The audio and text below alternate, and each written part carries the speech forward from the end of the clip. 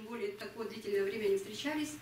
И, конечно, гостю нашей сегодняшней встречи, это Михаилу Савичу Бронштейну, говорим большое спасибо за то, что выбрал именно нашу библиотеку для презентации новой книжки.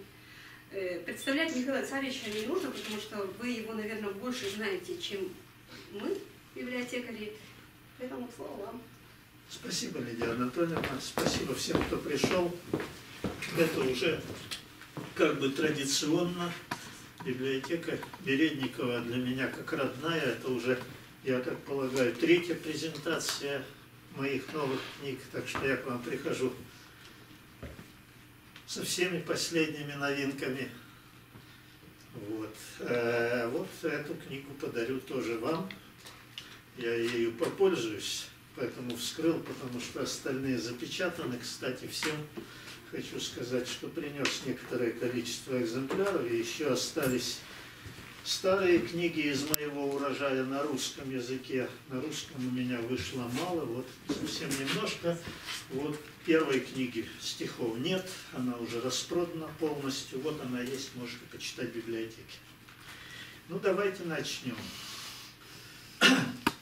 Все началось очень давно, если тут быть точным, 48 лет назад. А если быть еще более точным, в 1963 году, то есть гораздо раньше, когда я еще ходил в школу.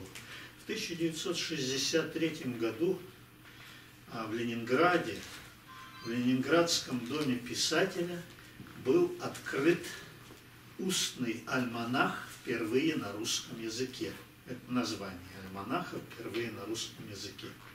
Его придумал профессор Герценовского пединститута Ефим Григорьевич Эткинд, доктор наук, профессор, крупнейший специалист в области поэтического перевода. Вот в 1974 году я имел честь познакомиться с ним лично, благодаря моей хорошей знакомой, поэтессе, барду, можете найти ее на ютюбе, Дина Лукьянец. Она сама родом из Барнаула, приехала в Питер в 1973 году, в сентябре, на два года э, аспирантом Герценовском институте. И попала она в группу аспирантов именно к Ефиму Григорьевичу. Такой был человек выдающийся, красавец, высокий под 2 метра ростом, черный, кудрявый. Это ему уже было э, немногим больше 50 лет тогда. И с хорошо поставленным голосом, а, умеющий говорить и преподнести все. Я вам это говорю а, как на духу, потому что я специально ездил на его лекции в Герценовский а, пединститут, там меня пропускали, и я сидел вместе с этими девочками, которые на перерывах выходили кучей дымить на лестнице, вот, студентки, он им преподавал французскую литературу. И я слушал его лекции о Ронсаре, об Альфреде де Лавиньи, замечательный писатель средневековья французского. Великолепные были лекции. Так вот, это было в 74-м, в 73-м, а в 63-м, за 10 лет до этого, он открыл этот альманах впервые на русском языке. К нему ходили, я читал а, в литературной России очерк Константина Азадовского об этом альманахе. Он пишет, ходили на Эткинда. Ходили на Эткинда. Что такое был этот альманах? Это был, было два часа удовольствия, по 20 минут. Каждый из выступающих представлял свои новые переводы на русский язык. и в зале, зал там в доме писателя небольшой, человек на 60, в зале сидели тоже переводчики в основном. Маститые люди, знаете, я когда пришел, я увидел там впервые и услышал Михаила Донского, который э, перевел, в частности, «Собаку на сене».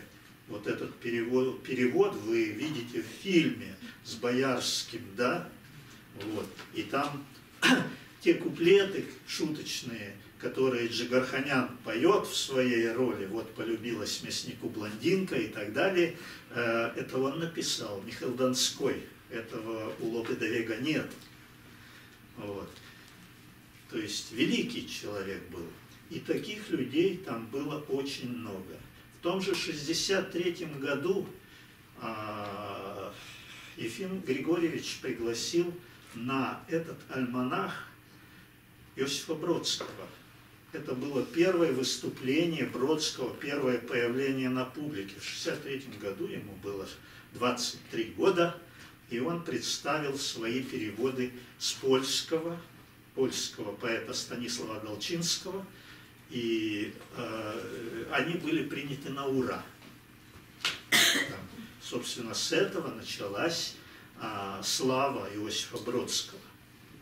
Его узнали. В 1974 году Дина Лукенец, которая познакомилась с э, Ефимом Григорьевичем лично, почитала ему свои стихи, естественно, не применула, он послушал, ему понравились, попела ему своих песен, в общем, завоевала авторитет у него. И она предложила ему э, сделать, то есть там на этом альманахе э, впервые на русском языке вот эти 20-минутки назывались страницами, вот она предложила ему сделать страницы, посвященные эсперанто. Состоялось две таких страницы в начале 1974 года. Первая страница была посвящена переводам русской поэзии на эсперанто. Эту страницу представляли два человека. Профессор Семен Наумович Подкаминер – из Ленинграда, и Владимир Владимирович Самодай, главный редактор арабского издания газеты «Московские новости», переводчик, поэт, замечательный человек. А, Семен Наумович рассказал вообще об эсперанто, а Владимир Владимирович представил переводы Пушкина, Лермонтова, Некрасова и других русских поэтов на эсперанто. То есть он читал параллельно русские тексты и тексты на эсперанто. Это всем очень понравилось. Вторая страница состоялась через месяц, и это уже была страница наша с Диной.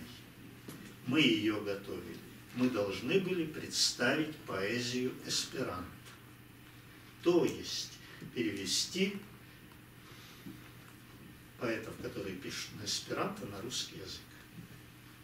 Задача была, я еще тогда не имел такого опыта, какой у меня сейчас в голове, сконцентрировался, вот, а, переводили, она перевела очень много а, стихотворений разных, я перевел, отбирал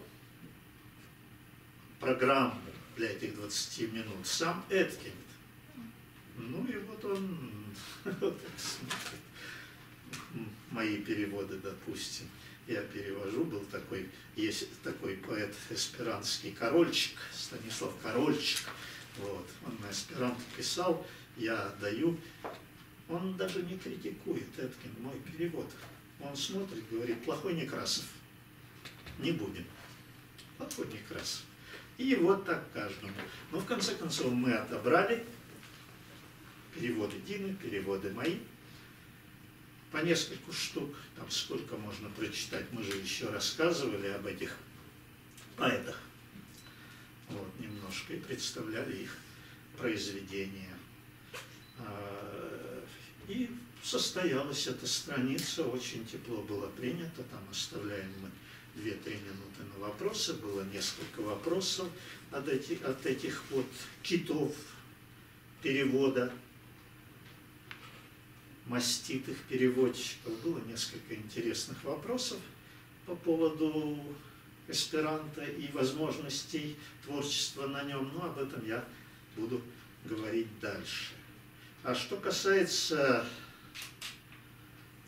Ефима Григорьевича Эткинда, в том же 1974 году, в сентябре, его выгнали из Советского Союза за то, что он написал предисловие к первому изданию «Архипелага ГУЛАГ» Александра Солженицына. Он дружил с Солженицыным, написал предисловие и за это поплатился. К сожалению, поплатился не только он. Собственно, он а, что? Он он здесь читал лекции в Герценовском институте, там его тут же пригласили читать лекции о русской поэзии в Сорбонне. Он читал лекции в Сорбонне, он писал книги, книги писал на русском языке, они потом были изданы здесь, когда это стало возможно. А пострадали его ученики – потому что разогнали и эту группу, которую он вел, аспирантов, и э, студенты его, их передали другим преподавателям, но книги его были изъяты из библиотеки Герценовского института, из других библиотек, я не знаю, может быть, что-то сохранили, потому что у меня бы рука не поднялась э, такие книги выбрасывать. У меня есть его книга, подаренная им, она называется «Русские поэты-переводчики от Тредьяковского до Пушкина». Вот. То есть старая школа наших переводчиков. Книга читается как роман. Великолепная книга. У меня есть еще несколько книг, которые я купил позже, то есть уже вот в эти годы, в 2000-е они вышли у нас там в Питере, а вот на Невском в книжной лавке писателей можно было их купить. Но вот э, эти люди лишились. Дина уехала к себе в Барнаул. Пришлось ей по новой поступать в аспирантуру э, в Московский институт языкознания. Ну, она э, девочка, ну, сейчас уже ей столько же лет, сколько мне примерно. Вот. А тогда она бойкая была, и талант у нее. Она поступила в аспирантуру э, Московского института иностранных языков, и в 83 году, это представляете, вот в 74 83 году только она защитила кандидатскую диссертацию. Вот. А я, что я? Я занимался другими делами, э, писал другие вещи, переводами не занимался – в общем-то, те переводы, которые у меня были сделаны к этой странице альманаха впервые на русском языке, они у меня были на бумажках, черновиках, они где-то лежали в шкафах. И вот совершенно недавно, года полтора назад, я а, выступал в Москве. Там друзья пригласили меня выступить. Есть такой а, Виталий Белкин, писатель, юморист. Он организует а, встречи а, с теми, кто пишет стихи, прозу, песни такие юмористического содержания. Эти встречи набирают человек по 200, по 300 а, там в Москве. А, и э, меня он узнал обо мне от моих друзей, попросил меня выступить. Я, когда был в Москве, выступил там. И я для этого подготовил, у меня, собственно, моих таких стихов, которые там можно прочесть, юмористических, совершенно немного. Вот. И я нашел несколько своих переводов старых, туда же их распечатал и там представил. И ко мне подошел один товарищ и сказал, а что, Много людей пишет на эсперанто? Я скажу, ну, достаточно много. А вы не хотели бы, вот у вас хорошо получается, не хотели бы вот представить а, эсперантскую поэзию русскому читателю? Ну, знаете, я над этим не думал, в общем-то. И можно, в принципе. Ну, как-то эта идея запала мне в голову, и я начал немножко этим заниматься, собирать материал. То есть у меня было э, несколько десяток другой книг на э, эсперанто вот этих поэтов, которые пишут именно на этом языке. Ну, пришлось еще покопаться в интернете и попросить, чтобы мне прислали книги. Одним словом, я приступил к работе. И вот результат этой работы, вот эта вот книжечка, она называется скромно «Малая антология поэзии эсперанто». Ну, я вам ее дальше представлю, а пока я хочу вам сказать несколько слов о другом. Что такое эсперанто? Это вы, а, я вам скажу только, что это плановый язык, разработанный вот этим вот человеком, Людвигом Заменгофом. Собственно, был разработан проект этого языка. А, он выпустил первую книжечку в 1887 году.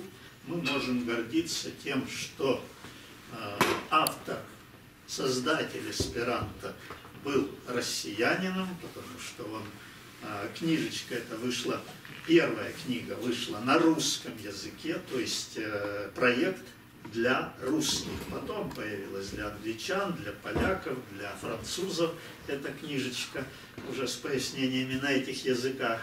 Но первая была на русском языке, а сам он жил в Варшаве, учился в Московском университете, который сейчас государственный имени Ломоносова. Вот. Э, и э, Варшава тогда относилась к Российской империи, насколько вы помните. Вот. Потом, э, после выхода этой книжки, он, кстати, там опубликовал в, эту, в этой книжке такой вот корешок, талончик. Там было написано, я, ниже подписавшийся, обязуюсь изучить язык, предложенный доктором эсперанто, так он себя назвал, язык просто назывался международный язык, а он выпустил книжку под псевдонимом доктор эсперанто. Вот я обязуюсь изучить язык, э, значит, э, предложенный доктором эсперанто в качестве международного, если еще 10 миллионов человек обязуются сделать то же самое. Ну, такая задумка. Ну, тут ему начали, эта книжка начала почему-то быстро распродаваться. Ему начали поступать письма, а зачем ждать, когда 10 миллионов наберется? Мы уже учим. И а, через, буквально через полгода посетил его в Варшаве, пришел к нему домой человек, поэт, которого звали Антоний Гробовский, и заговорил с ним на эсперанто. Вот это, можно сказать, была первая беседа. Антоний Гробовский, он э, писал на польском языке, впоследствии был известным поэтом, впоследствии перешел на эсперанто. Он был практически создателем э, тогдашней школы э, эсперанто поэзии. И я, в общем-то, горжусь, что вот одной из моих книг, она вышла и на русском языке, «10 дней капитана Постникова». А, за эту книгу я получил в 2004 году премию имени Антония Гробовского. Вот, от Всемирной ассоциации эсперанто. Но на самом деле начал писать, вы понимаете, вот э, Заменгов я не знаю, это, это не, это не хитрость, это предусмотрительность, наверное. Он а, вообще предполагал, что его язык будет служить в первую очередь для общения деловых людей, коммерсантов, там, банкиров, еще кого-то. Но в этой же книжечке тоненькой своей первой он напечатал первое стихотворение на языке эсперанто. Он сам его придумал. Вот. И так что он положил начало стихотворения очень даже неплохое. Оно было переведено и на русский, и на многие другие языки. Оно относит, отнесено к классике эсперанто поэзии. Вот. А, но вот э, что представляет из себя эсперанто? Это язык, построенный на базе, он не искусственный. Знаете, он такой же искусственный, как все другие языки мировые, потому что они складывались веками. Эсперанто живет около 150 лет, и все это время этот язык развивался как живой язык. То есть у него появилось много последователей, последователей, если сказать, то начиная от нашего Льва Николаевича Толстого и заканчивая нынешними вот Нобелевскими лауреатами, есть несколько фамилий людей, которые говорят на эсперанто, а также президентами многих стран. Вот Иосиф Брос Тита говорил на эсперанто свободно. Бывший президент Австрии Франц Йонас говорил на эсперанто свободно и прочее. Да? Язык, то есть язык, он есть язык. Он развился так, как развиваются а, живые языки. Но он прост в изучении за счет чего? За счет чего можно упростить язык? А? За счет лексики никак. Потому что все, э, все предметы, которые находятся перед нами, все понятия, воздух, земля, небо, они э, должны иметь свое значение в любом языке. Иногда даже не одно значение в арабских языках для того, чтобы назвать верблюда, существует 40 слов разных. Вот. А, ну и у нас есть синонимы, да. Вы можете сказать конь, жеребец, лошадь и прочее, да. Вот. Так что э, лексику можно упростить, но очень немного. Можно упростить грамматику. Можно упростить правила чтения. Вот в эсперанто это так и сделано. Значит, вот, допустим, в английском языке первая буква алфавита, которая называется A, она может читаться как А, может читаться как A, может читаться как Э, а может вообще не читаться. В эсперанто, в алфавите эсперанто, каждой букве соответствует только один звук, и каждому звуку одна буква. Все. Это хорошо. Можно упростить грамматику, и она упрощена до предела. Это есть там гениальные, конечно, э, гениальные идеи, гениальные находки автора аспиранта. Самое главное, что там очень простая система глаголов. Глагол – самая сложная часть речи, да, и мы с вами теряемся, иностранцы теряются, когда, как перевести «я был выпивший». А вот э, в эсперанто все это делается очень просто. Кроме того, надо э, сделать так, чтобы язык был красивым. И это было сделано и автором эсперанто, и последующими его последователями, которые добавляли живую лексику в язык, эсперанто звучит очень красиво. Я вам почитаю. Да. Вот. И последнее, что надо сделать для того, чтобы писать на эсперанто, это рифмы, слова рифм. Слова рифм очень богаты, может быть, несколько беднее – чем словарь рифм русского языка, который занимает три вот таких вот тома. Но есть с чем работать. А самое главное, самое главное, что можем находить что-то новое. Еще не все докопано до конца. Можно находить. И я, когда работаю, я, когда пишу на аспиранта в оригинале, я стараюсь находить свежие рифмы, которых никто не употреблял никогда. А содержание, содержание, извините меня, это, если человеку есть что сказать, то он на любом языке это скажет, если он знает этот язык. Было бы что сказать. И вот а, кто пишет на эсперанто? На эсперанто пишут а, люди в разных странах, потому что нет такого народа эсперанто, как вот в известном анекдоте говорится, ты знаешь эсперанто, а он отвечает, да, я там 10 лет жил. Вот, нет такого. Люди, знающие эсперанто, разбросаны по всему миру, их достаточно много, некоторые из них пишут на эсперанто. Сколько? А, я посчитать не могу, но если так примерно говорить, то это будет, а, ну, может быть, тысячу человек. Что такое тысяча человек? Да у нас в Ленинградской области больше поэтов, пишущих на русском языке, чем тысячи человек. В Тихвине, наверное, сотня поэтов наберется. Правда, Лидия Анатольевна? Вот. Но есть одно но. На эсперанто пишут люди, которые на своем языке родном уже проявили себя как известные либо ученые, либо поэты, лингвисты. То есть люди, которые способны свои идеи, то, что им есть сказать, способны передать наилучшим образом.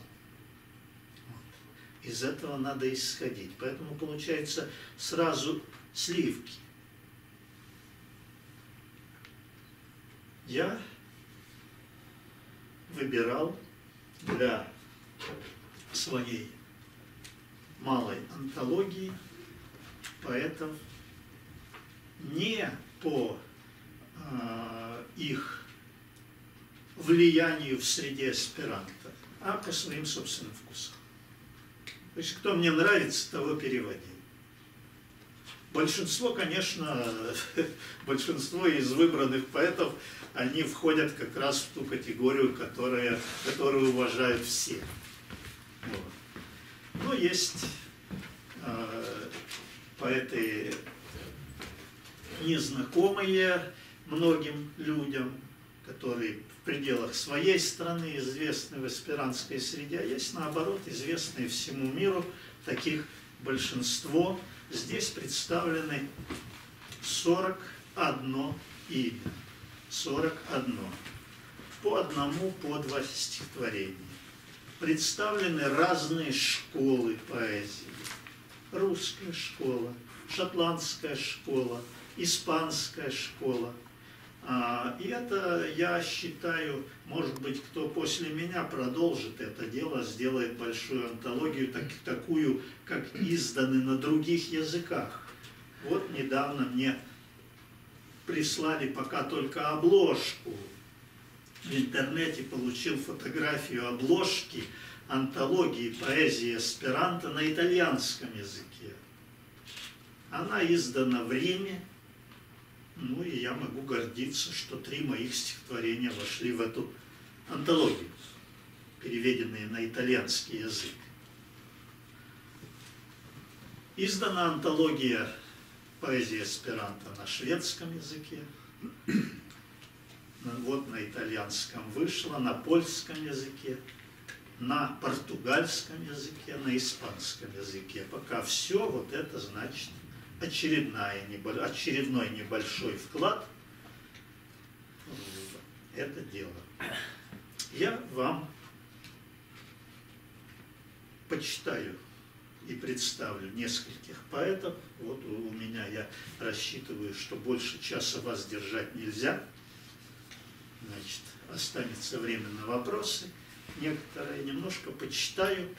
Остальное вы можете, я вот эту книжечку подарю библиотеке, уже подписал ее.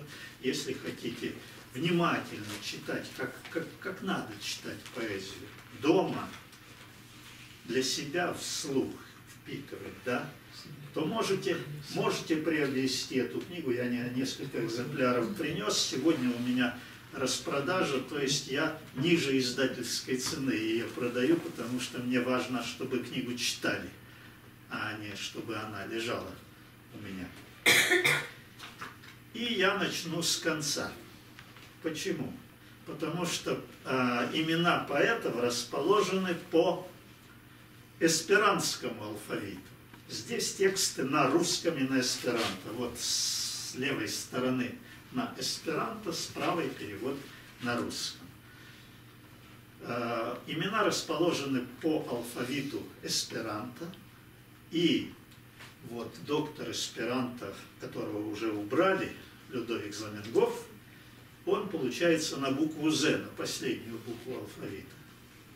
Я не стал его передвигать в начало, а пусть все идет по алфавиту. Но тем не менее, его стихотворение не то первое, которое было на, напечатано в первой книжечке, стихотворение, написанное позднее, но оно стало программным стихотворением. Он его прочитал на одном из первых всемирных конгрессов эсперанто. И оно тоже очень а, такое, я скажу, это призыв. Я вам почитаю один куплетик на эсперанто, чтобы вы услышали звучание, а потом дальше на русском перейду на русский. Вот это стихотворение дало название всей книги «La voglio» по-эсперанто, по-русски «Путь». La celo, al quiu courage ni iras, simile al stelo en nocta cielo, al ni la directon gi diras. Cae nin metimigas la nocte fantomoi, nec batoi del sorto, nec mocoi del homo, cia clara cae recta, cae tre definita, gi estas la voi electita. Очень простые рифмы, тогда он не подбирал это начало, поэтому рифмы у него очень простые. Но, тем не менее, на русском языке можно было использовать все богатство русского языка, и я его старался э, подбирать рифмы и размер сохранить, рифму подобрать поинтереснее. С отвагой мы к цели во мраке уходим, она лишь мерцает чуть-чуть. Подобно звезде на ночном небосводе, она нам укажет наш путь. Судьба нас не жалует, люди ругают, но призраки ночи нас не испугают. Дорога, которую выбрали сами, ясна и лежит перед нами.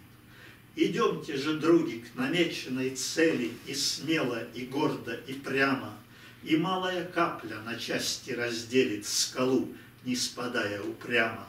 Надежда, упорство, терпение – все это поддержит в пути и добавит нам света. И мы шаг за шагом, трудясь на пределе, во славе придем к нашей цели. Мы сеем без устали, сеем и сеем, потомках поймут нас народы. Пусть сотни семян мы по ветру развеем, но в радость нам дружные всходы. Куда? Отрекитесь, летят нам упреки, но сердце зовет нас. Отпущены сроки, вперед же, вперед, будет внукам отрадой тот путь, что не стал вам преградой. Пусть листья увяли, пусть ветра влечение, срывая, уносит их прочь. Мы в этих ветрах обретем очищение и силу, чтоб все превозмочь. Теперь мы едины, а значит бессмертны. Теперь нас не сломят ни штили, ни ветры. Мы к цели, однажды намеченной нами, упорно шагаем рядами. Идемте же, други, к намеченной цели и смело, и гордо, и прямо, и малая капля на части разделит скалу, не спадая упрямо. Надежда, упорство, терпение – все это поддержит пути и добавит нам света. И мы, шаг за шагом, трудясь на пределе, во славе придем к нашей цели. Вот это Людовик Замедлов. А теперь, спасибо. А теперь я вернусь на первые страницы, потому что на, на первых страницах представлен кандидат на Нобелевскую премию, шотландец Уильям Олд. Он совершенно недавно ушел из жизни в очень почтенном возрасте. Он одно время являлся вице-президентом Всемирной Академии Аспиранта. Он был президентом, то есть Всемирной Ассоциации Аспирант с 77 по 80 год, 4 года, там же выборы демократические. Вот.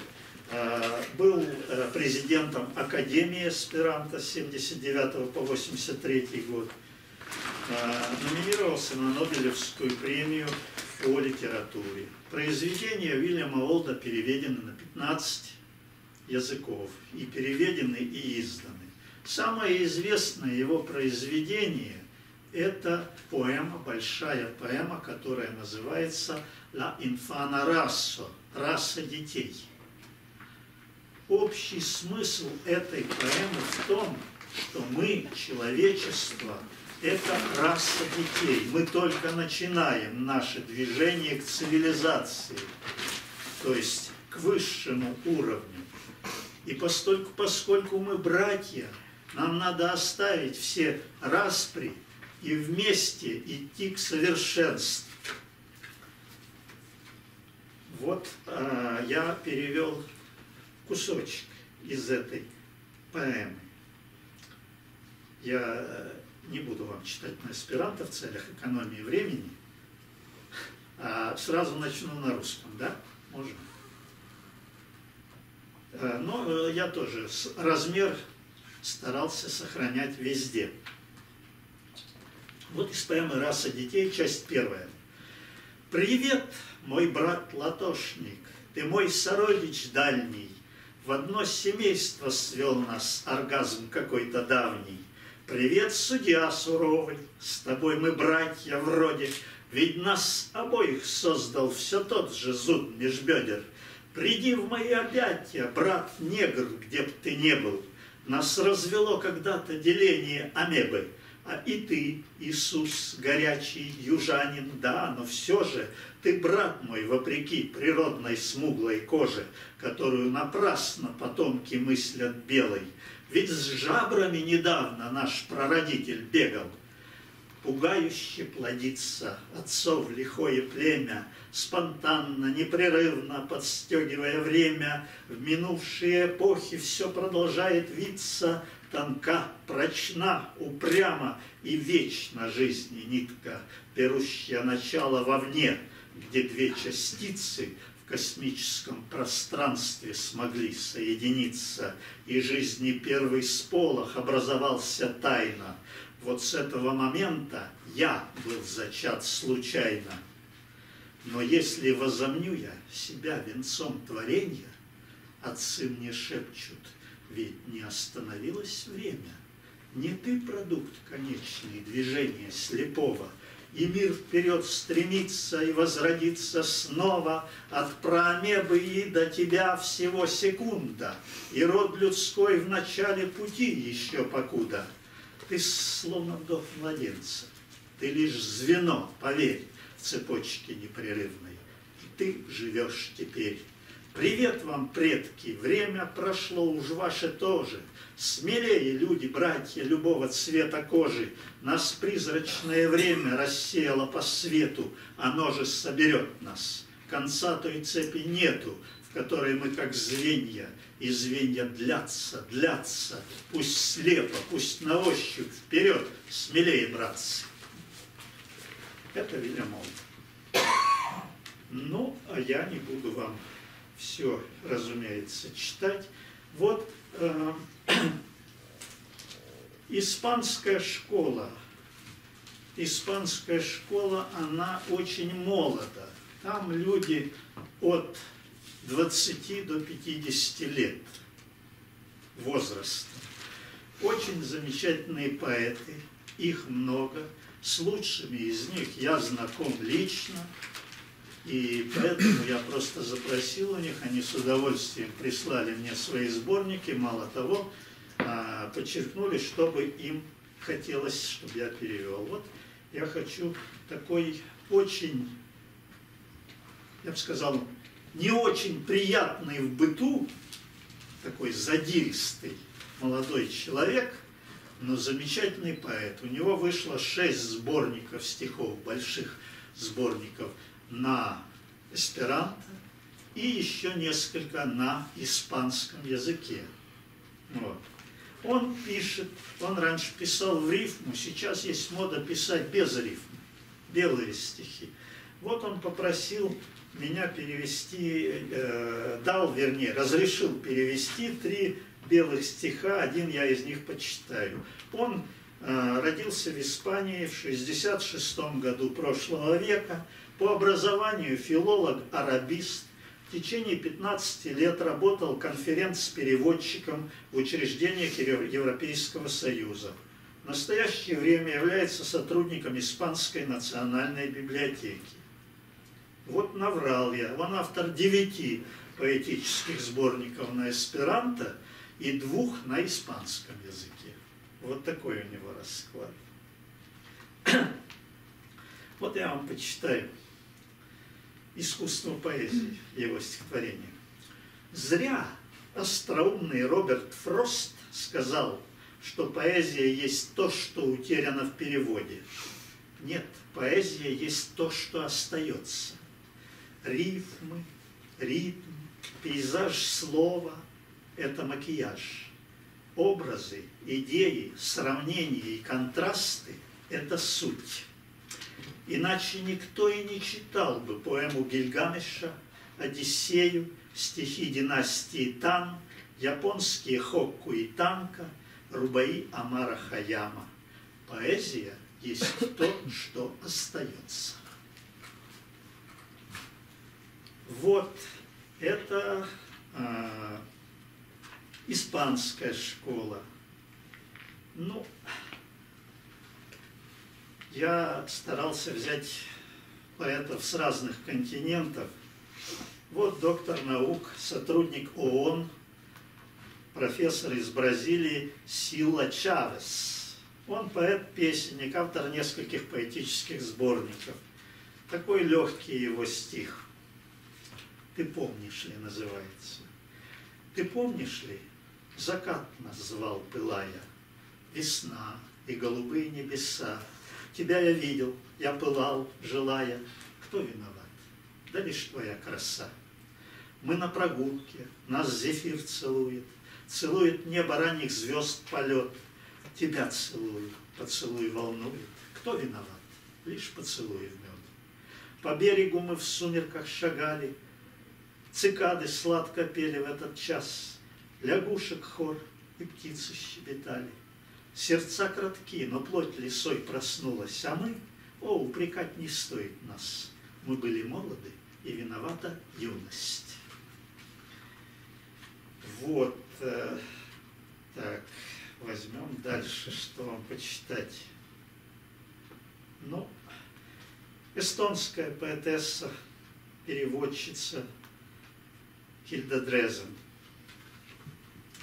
я с ней познакомился, когда я был совсем молодым, а она была уже старушкой. Вот. Ну, поговорили, пообщались, несколько раз мы встречались с ней. Вот ее стихотворение такое «Март военный».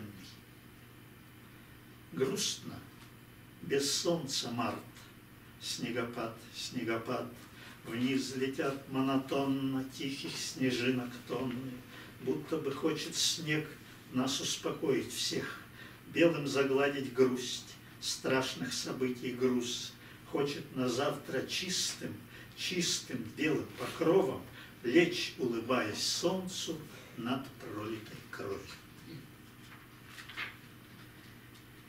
Вот. Сейчас еще что-нибудь. Вот такая вещь. Тоже знал этого поэта. Он намного старше меня был, в 2003 году ушел. Альдо де Джорджи, итальянец. Редактор газеты «Вестник Эсперанто», член Академии Эсперанто. Вот такое стихотворение, немножко странное, но очень интересное. «Сижу на берегу реки и ожидаю». Вот притча из Китая. Говорят, что когда-нибудь я увижу плывущий мимо труп врага. Сижу на берегу реки и ожидаю. Жду так долго, что засыпаю и падаю в реку. Может быть, враг мой, сидящий на берегу, когда-то увидит.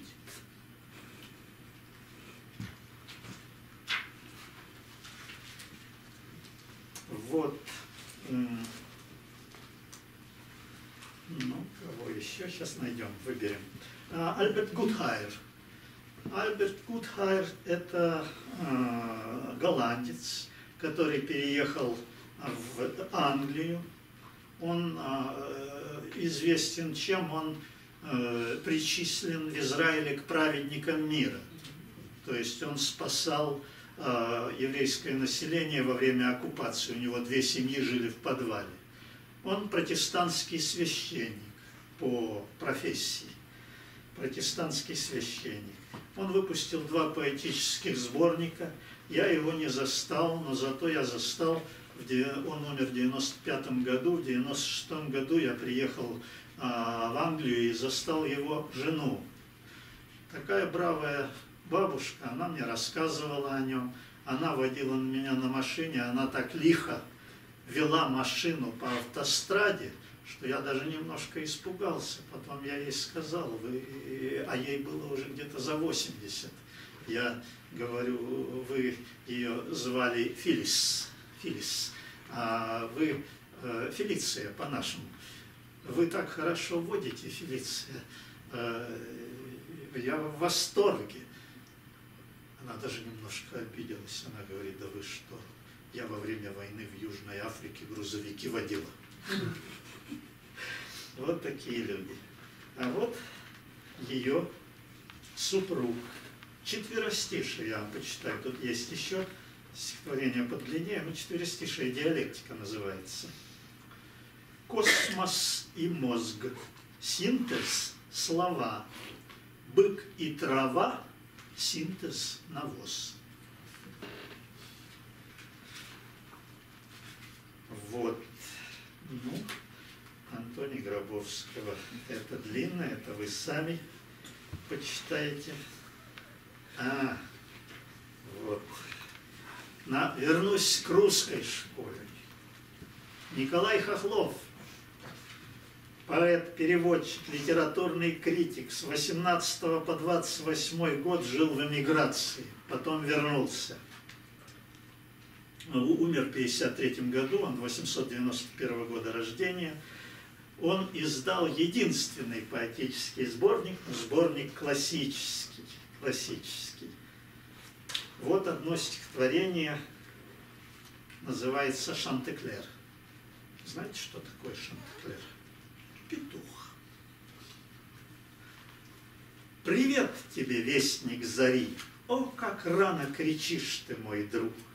Еще далеко до рассвета все мгла укрывает вокруг – и спит еще мир населения, и сладко вздыхает во сне, и сумерки бродят по полю и сыплют росу в тишине. Лишь мы, часовые, дежурим бессонно на нашем посту. Кричишь ты, стихи я слагаю, и в сердце лелею мечту. Быть может, никто и не слышит тебя и не знает меня. Все к правде стихов равнодушны, молчание храня. Пустяк!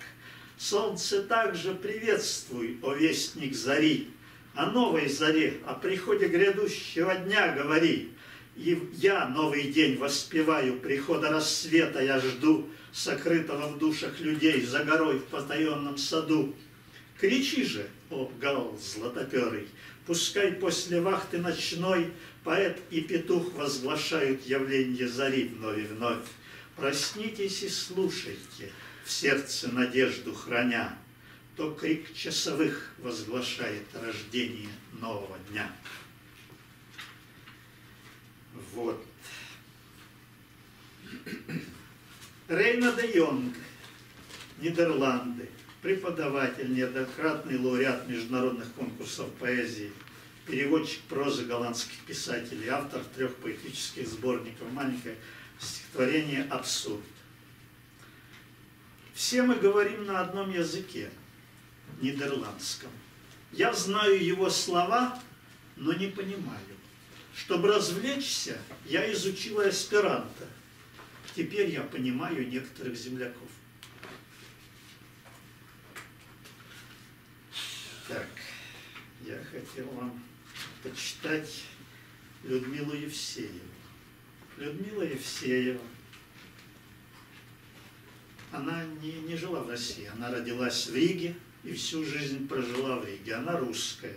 Она писала в основном стихи для детей.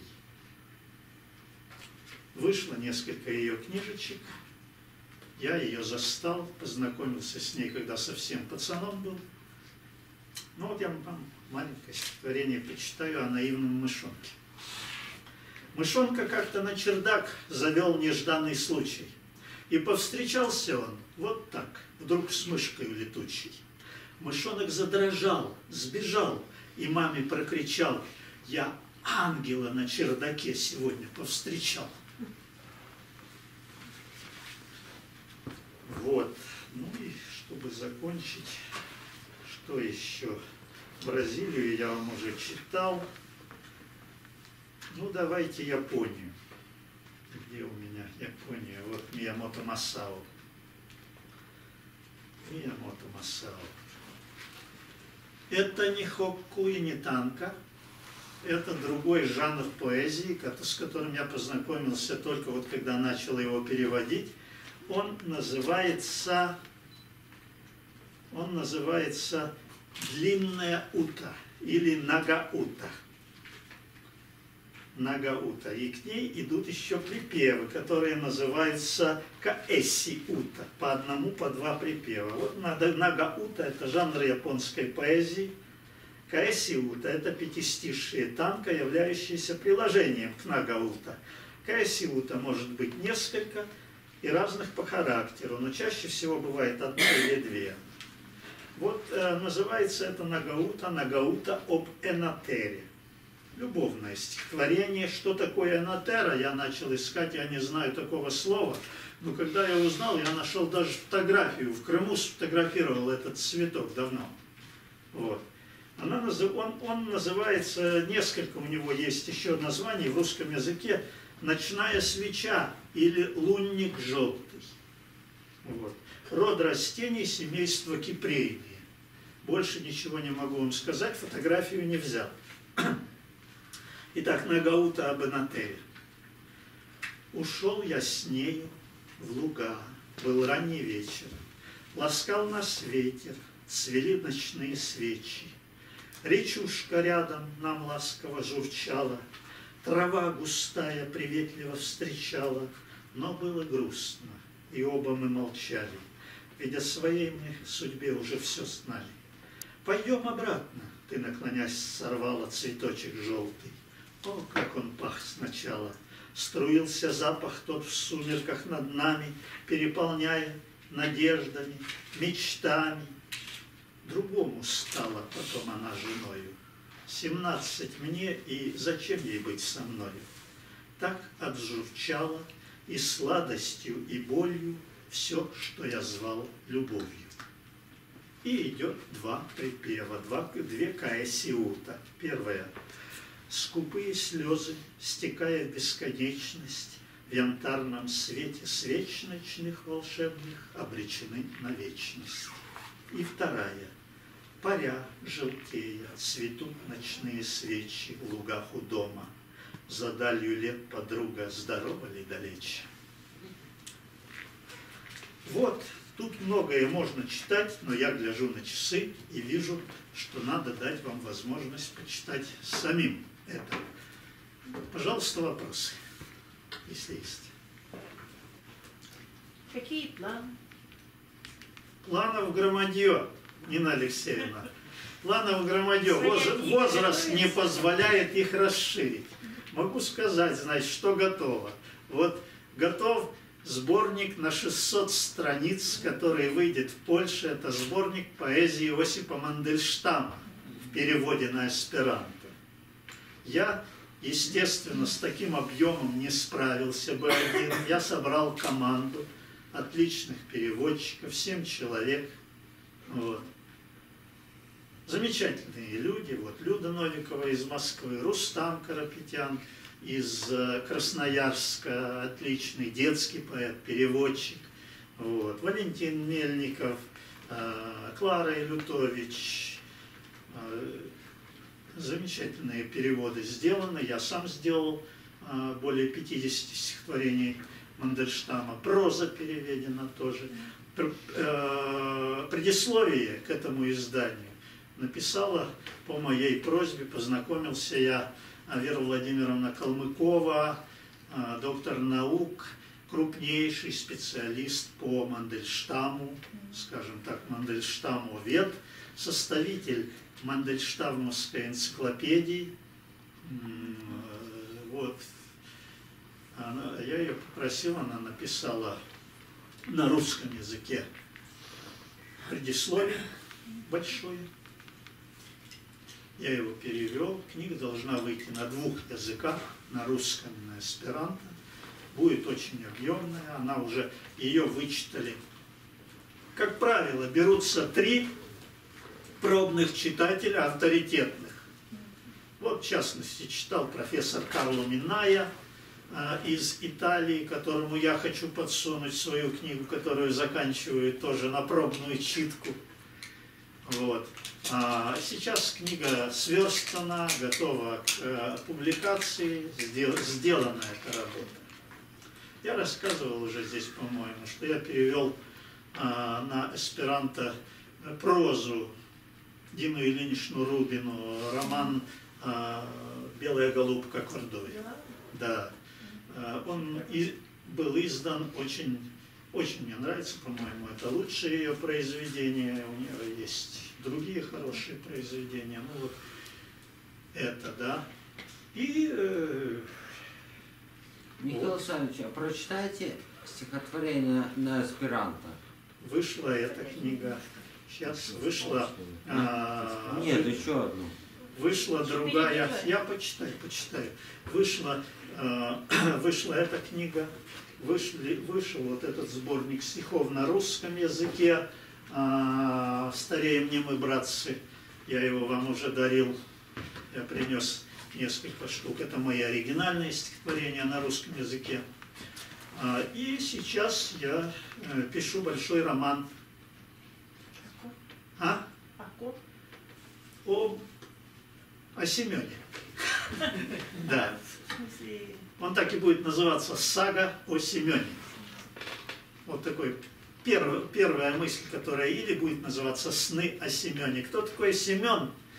Это доктор наук Семен Наумович Подкаминер, а, петербуржец, а, интеллигентный человек из интеллигентной семьи. Его отец руководил военным оркестром, потом на Каменноостровском проспекте держал музыкальную школу. Вот. А сын который родился в 1901 году, а, закончил гимназию престижную, учился в одном классе с Вольфом Мессингом, если это что-то вам говорит. Вот. И он... Гимназия Май... Майя? А? Гимназия Майя? Май. А, Она называй, называлась гимназия Эйзенбета. А. Вот. И а, кое-что он мне рассказывал, я застал его еще, а, был знаком с ним, несколько раз был у него дома. Кое-что мне рассказала его внучка, допустила меня к его архивам.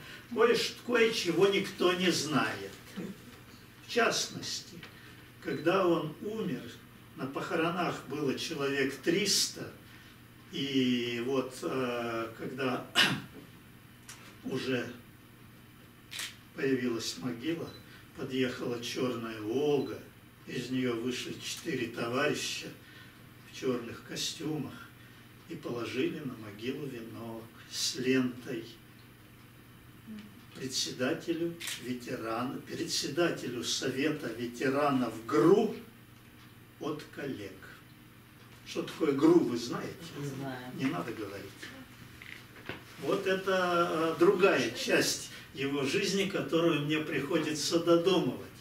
Я полазил по архивам, я нашел интереснейшие вещи, которых, наверное, не видел никто уже а, десятки лет. В частности, э, в архиве ЦГАПИД, Центральный государственный архив исторической, историко-политической литературы возле Смольного, я нашел беседу с ним, которую провел некий инструктор Ленинградского горкома партии, беседу о его работе в войну.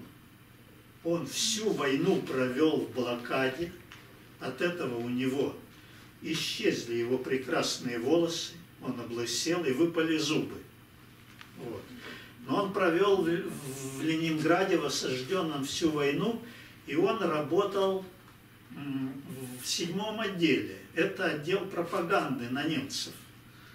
Готовил листовки, засылал людей, которые распространяли листовки, брали языков. Что такое языки, вы знаете.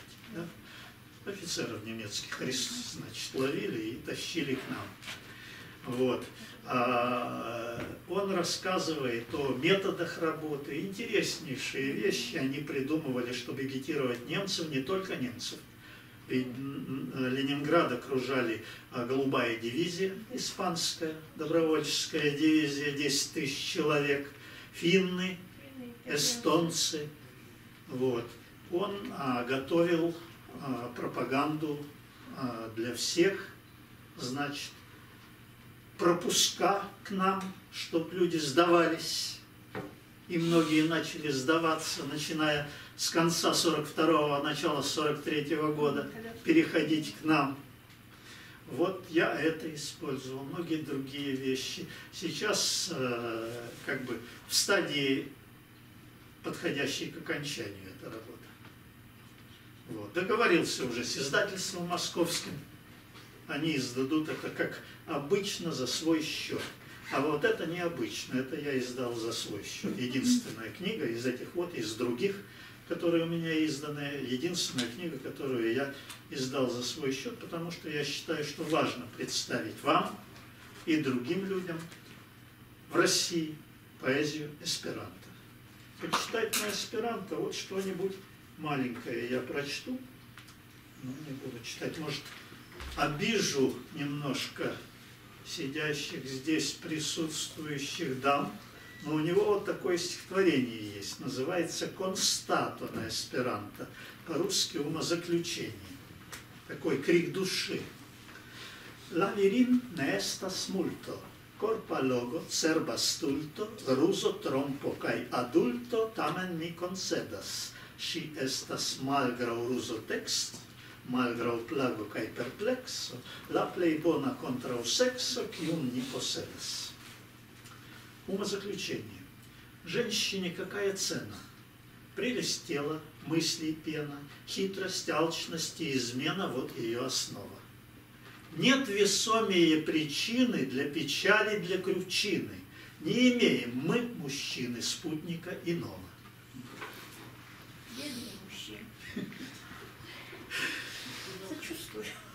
Спасибо. Вопрос можно? Да. Расскажите, как вы работаете? Как вам хватает времени на все это? А, так, э, Юрий Галямович, как бы вечера у меня все свободны, меня почти не дергают по вечерам. Вот. А выходные для размышлений тоже есть, да. Вот э, если удается написать 2-3 странички в день, это хорошо. Если переводы, это совсем другое дело. Там бывает, э, э, переведу и 10, и 15 страниц, а потом на одной споткнусь и сижу на какой-то фразе неделю. Да? Вот как перевести, вот у Дины Рубиной в этом романе «Обманули дурака на четыре кулака».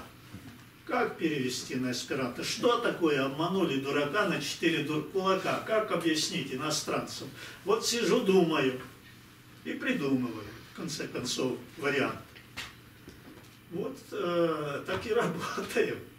Так и работаем. Слава Богу, первый свой роман вот, э, в Ямбурге не стреляет, я писал вручную, ручкой, своим корявым почерком. А сейчас ведь хорошо. Сейчас есть компьютер, да. Я не храню, принципиально не храню черновых наработок. Вот. Все уничтожаю, остается только чистовой текст в конечном счете. Я его передаю пробникам, вот, пробным читателям, на которых испытываю. Они мне дают замечания, я кое-что правлю, кое-что не правлю. Потому что если лезут в мой стиль, то я отказываюсь это править. А если по делу, то это по делу. Но, как правило, больше по делу. Вот.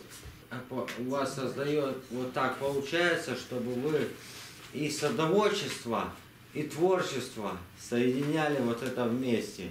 У вас было одно стихотворение, там «У меня один гриб вырос на участке». Вот, я, я сам вас, помню просто вы на соседней улице со мной живете. Спасибо. Значит, что я скажу? Здесь сад. Летом я мало работаю, имеется в виду за компьютером, да, летом. Летом я работаю на работе и в саду. Вот, дышу воздухом. Тоже есть масса стихов на эту тему. Заходите в Facebook, читайте. Сегодня я книжечки у меня запечатаны, читайте. Вот. Ну, все, наверное, да? Хватит. Спасибо. Спасибо вам большое. Спасибо. Все.